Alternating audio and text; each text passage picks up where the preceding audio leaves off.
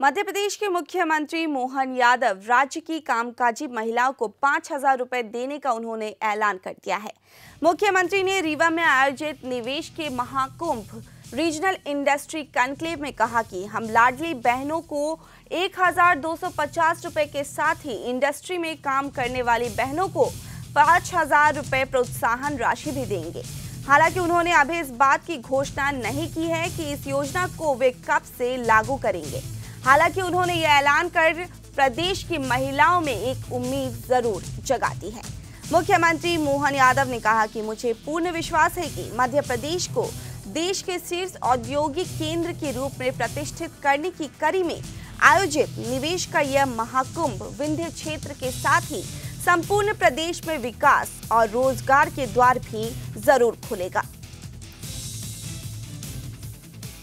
तो रोज़गार आधारित उद्योग की बात तो आई नहीं। रेडीमेड गारमेंट से लगा करके कई ऐसे रोज़गार परक उद्योग है, जिन रोज़गार परक उद्योगों के अंदर लेबर जैसे चार हज़ार लेबर के आधार पर प्रतिभा सिंटेक्स उज्जैन में इंडस्ट्री चला रहा है। या गोकुलदास हमारा गोकुलदास वाले भी आए यहाँ पे। आए ना गोकुलदास के कोई?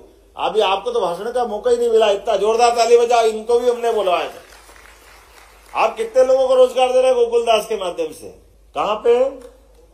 दो हज़ार। आप बताओ दो हज़ार लेबर इनके काम कर रहे हैं। प्रति लेबर पाँच हज़ार रूपया महीना सरकार आपको दे रही है और दस साल तक देगी।